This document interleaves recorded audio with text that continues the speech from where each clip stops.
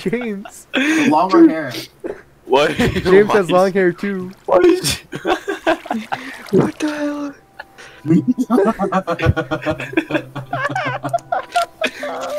Fuck. Uh,